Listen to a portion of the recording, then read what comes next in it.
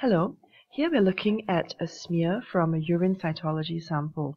This smear shows dual pathology.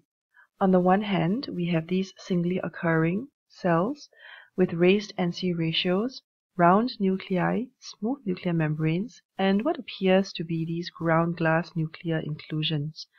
On the other hand, we have a more cohesive cluster of cells here. So let's compare the two types of pathology. We can see here in these singly occurring cells with the round nuclei, as we focus up and down, we're able to appreciate the ground glass nuclear inclusions. Note also that the chromatin is kind of pushed to the periphery. This appearance will always make us consider the possibility of a viral infection.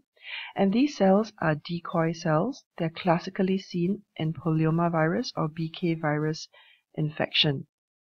Here is another field where again you can see these decoy cells with the round nuclei, the ground glass nuclear inclusions, and the marginated chromatin. Let's move on to look at a different cell group now.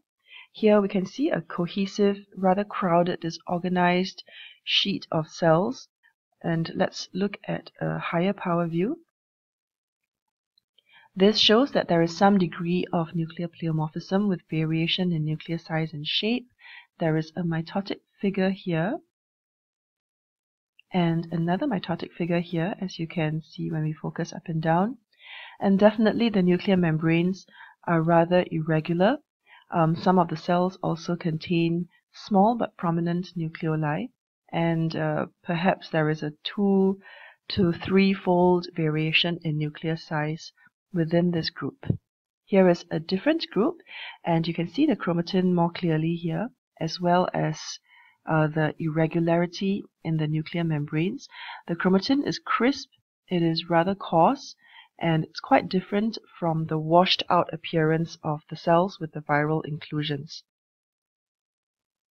A BK virus immunohistochemical stain has been performed on this cytospin smear and we can see that it is clearly highlighting the nuclei of the cells that have been infected by the virus.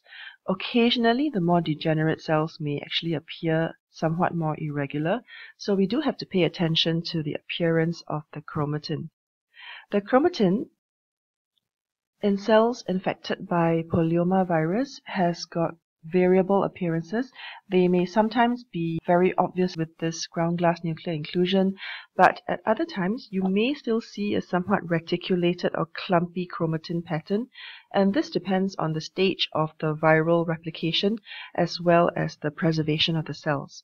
So just to summarize, the features of polyomavirus infection include raised NC ratios, usually round nuclei with smooth nuclear membranes, and the presence of viral uh, nuclear inclusions. Whereas in contrast, in cells of high-grade urothelial carcinoma, you will see more irregular nuclear membranes and coarser chromatin and sometimes prominent nucleoli. And also don't forget to look out for mitotic figures.